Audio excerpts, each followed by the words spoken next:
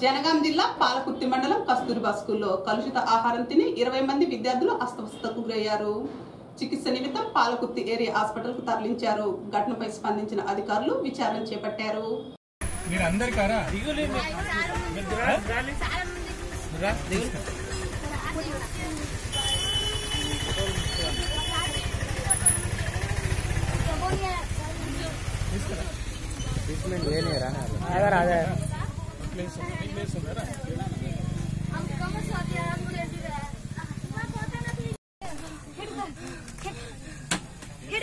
సాయం చేయాలని తెలియదు ఒక వీడియో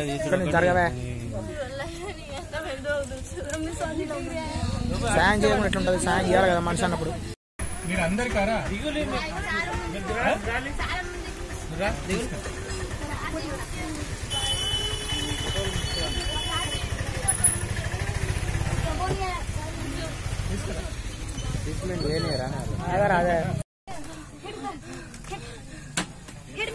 సాయం చేయాలని తెలియదు ఒక వీడియో